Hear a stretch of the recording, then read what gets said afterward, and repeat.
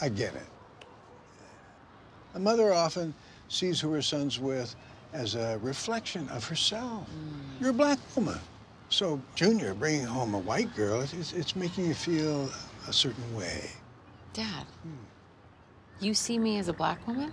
That's what you are, sweetie. Yeah, but you're my dad, and you're white, and that's half of me, right? So, and hmm. I love that half of me. So do I. And nothing can change that. But look at this. Yeah. Remember this day?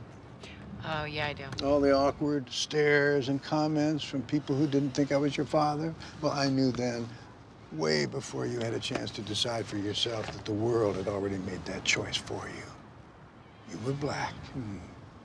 God, I struggled with that so much growing up. But you did.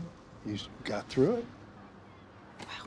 Eventually, you met Dre, you fell in love, and you had that big, beautiful family of yours. My big, beautiful black family.